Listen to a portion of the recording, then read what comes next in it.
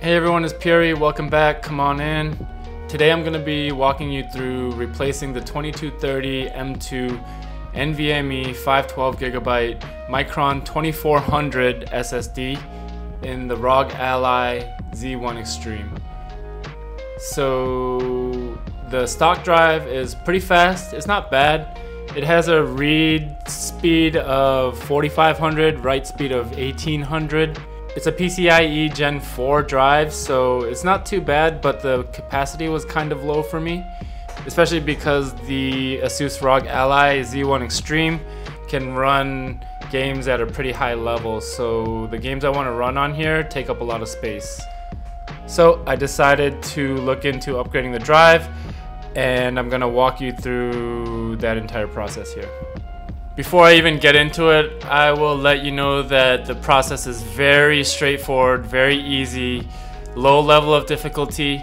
I applaud ASUS for making the drive accessible and not making it a pain in the ass to upgrade it. I'm sure they were assuming people were gonna get into it anyways, so thank you ASUS for that. Alright, so what I'm gonna do is show you the 3D Mark storage benchmark, crystal disk benchmark, and loading times for Cyberpunk on the stock drive. And then I'm going to repeat the same tests on the new drive. So here's what I'm going to be replacing the stock drive with. It's an Inland TN446 2230 NVMe M2 Gen 4 SSD. The capacity is one terabyte. The read speed is 4700 megabytes per second. Write is 3700 megabytes per second. TBW rating is 600 terabytes. It is a 3D TLC flash drive. I was able to pick it up for under 100 bucks during some sales. I think the regular price is about 160. No storage drives are selling at retail anymore. If you look on Amazon, I believe this goes for around 110. If you have a micro center around you, then it's probably cheaper to go and pick it up. But if you don't, then 110 is not bad for this drive, in my opinion. So I'm gonna go ahead and start this benchmark here. You can see it's running the Micron 2400 on the AMD Ryzen Z1 Extreme. The GPU is handled by AMD Radeon Graphics integrated into the APU. I'm gonna go ahead and fast forward through this footage and show you the results. See you in a second. And here are the results for the benchmark. It scored a 1218. Here you can see the individual stats. And there you go. Moving on to the Crystal Disk Mark benchmark.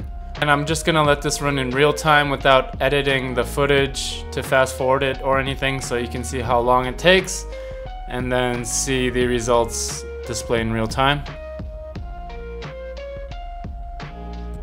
If you're not interested in seeing that, feel free to use the timestamps in the video description below to skip ahead to the next section.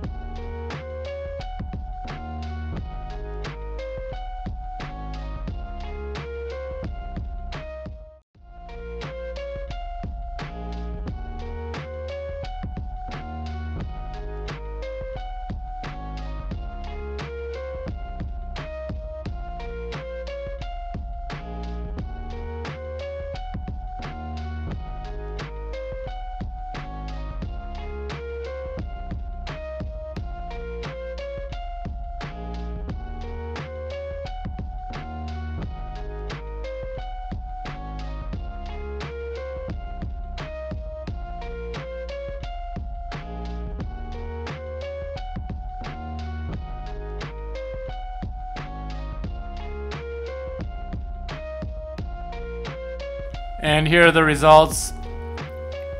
Pretty much what I expected to see according to the listed specs for this drive. 4300, 1700, not bad.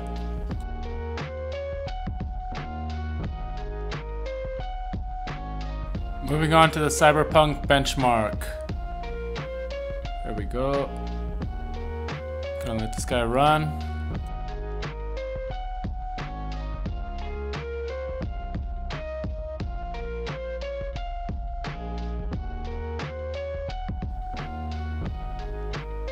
And it was just about 15 seconds there.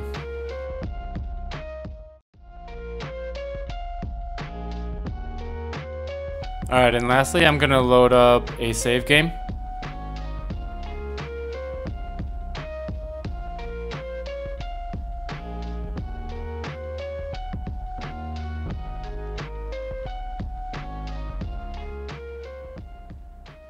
I think just about 11 to 12 seconds there. Alright, so I'm gonna go ahead and install this new drive. Okay. Now there are six screws you need to remove. One, two, three, four, five, six. Pretty easily visible. Go ahead and do that. The bottom left and the bottom right screws are actually longer than the rest. And those are the only two that you need to fully remove before prying off the shell. And you're gonna want to have a pry tool or some kind of soft plastic to pry open the case so that you don't damage the plastic there. So I've got a thermal paste spreader here that I cleaned off. I'm gonna use this as my pry tool.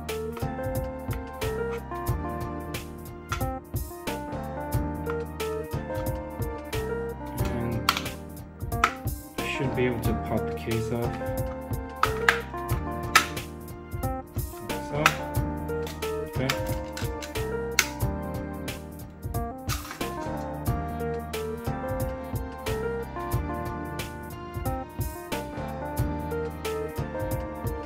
So in terms of the shell, I left four of the screws in there. The bottom left and bottom right two screws I left on my magnetic pad there so I don't lose them. But I found it unnecessary to remove all of them. And then if you fold this flat back, you'll see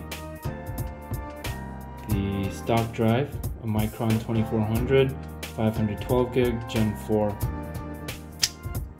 so I've removed the inland drive from the packaging. Here it is. It's a one terabyte TN446. Now, fold this back.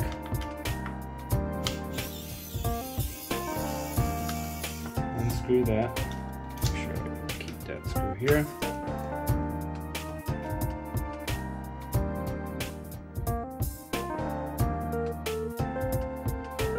Two drives.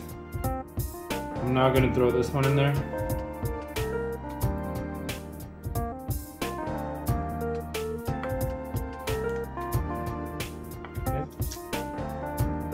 that in there.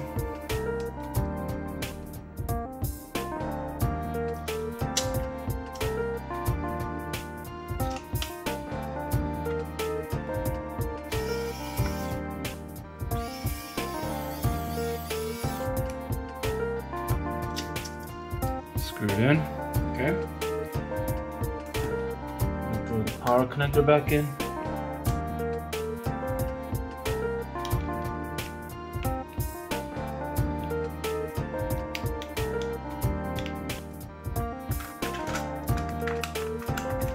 Put the shell back on.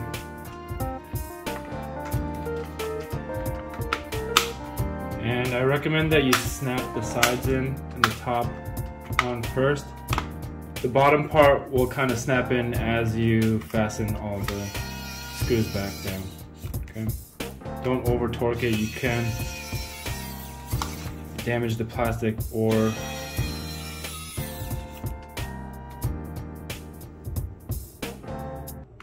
don't over torque it because you can damage the plastic or strip out the screws, okay?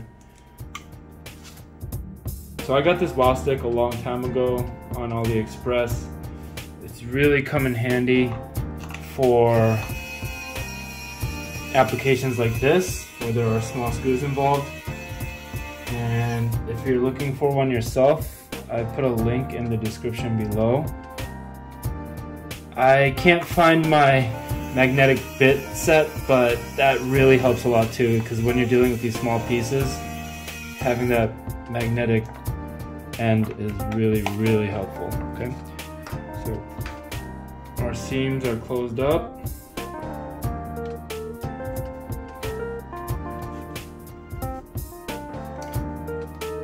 Device is back to normal. Let's wipe off these fingerprints. So I'm gonna get it plugged in directly to the power source gets all the power it needs and we'll boot it on. It should automatically boot into the BIOS since the drive is empty. Maybe I'll throw this into one of my next ITX builds or something. It'd be a nice little drive to have. Alright, Allied starting up. Yep, straight into BIOS. Go into advanced ASUS Cloud Recovery. Okay. View the policy. Agree. And go into cloud recovery mode.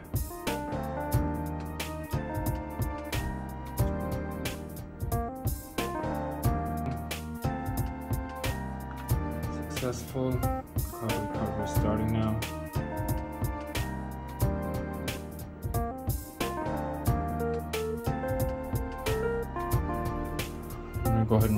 Back on the stand here. For the next 15 or 20 minutes, I just let it do its thing. I ended up getting stuck on a screen where it just said checking and the progress bar just kept looping and looping for about 15 minutes, so I decided to restart it. I ended up getting stuck in that checking loop for about an hour. I went online and tried to search solutions. Some people said to update the BIOS, some people said to update my ASUS couple different suggestions. The only thing that worked for me was actually hooking it up to the dock and using an ethernet cable to provide access to the internet. So maybe I didn't wait long enough, but for me, the solution that worked was hooking it up to a dock and using an ethernet cable. All right, so once I got it hooked up to the dock, it's actually working. So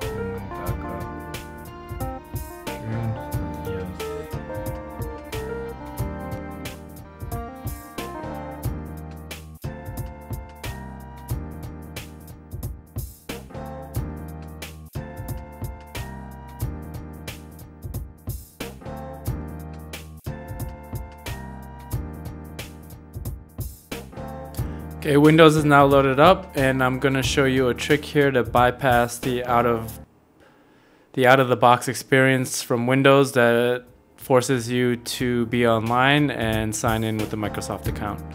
So what you'll do is hit Shift F10 to bring up the command prompt.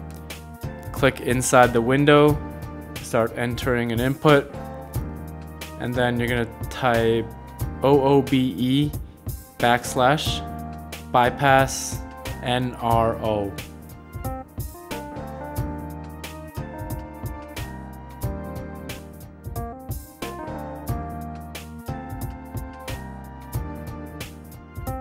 And this time instead of restricting us to signing in through a Microsoft account, I can choose I don't have internet, continue with limited setup,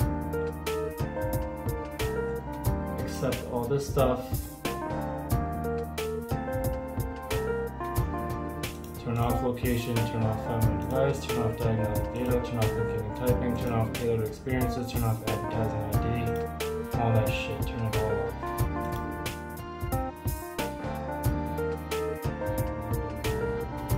Okay, so here we are. Your device is optimized for touch. Thank you. Welcome to your first user Armoury crate. Gonna initialize up here.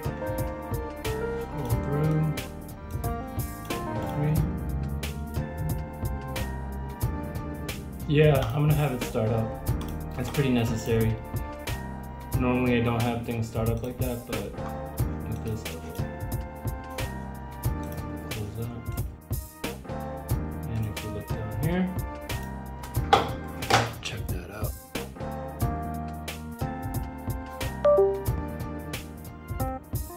Alright, so the drive's installed. I spent some time downloading the benchmark applications as well as Cyberpunk. I'm gonna run 3D Mark here first.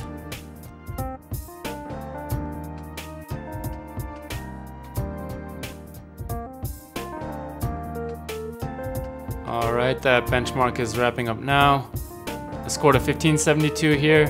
The stock drive scored a 1218, so there's a pretty big difference there. Close to a 20% better score. And here are the individual numbers. It had better specs, so I expected a better score, and that's what happened. So I'm gonna let the Crystal Disk benchmark run in real time.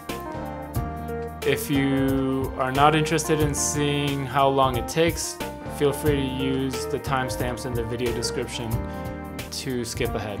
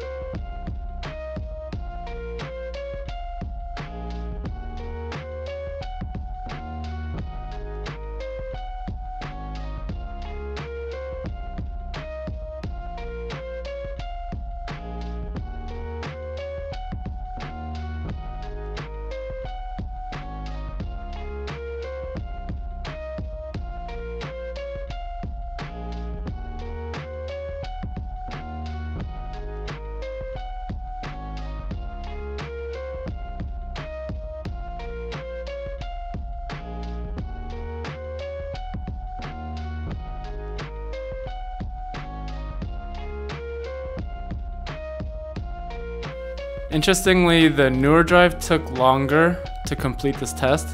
I don't know if that has any bearing on the performance, but I noticed that.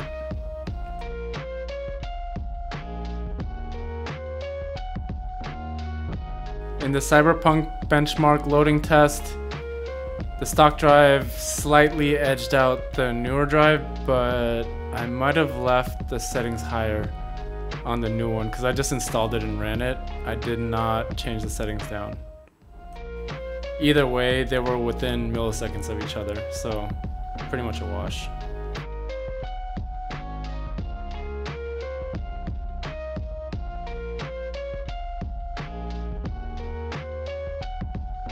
And the last test is loading up a save game in Cyberpunk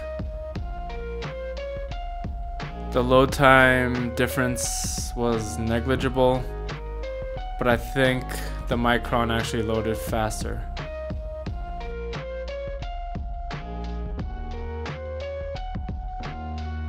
So I hope this was helpful for you. If you have any questions or comments, feel free to leave them below.